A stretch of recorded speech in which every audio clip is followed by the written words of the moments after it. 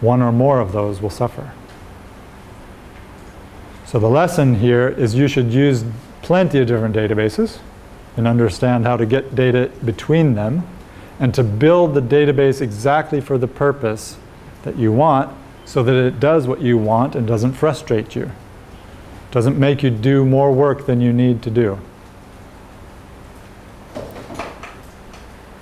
So we're going to talk about plenty of different databases. They're actually database management systems, not data capture systems.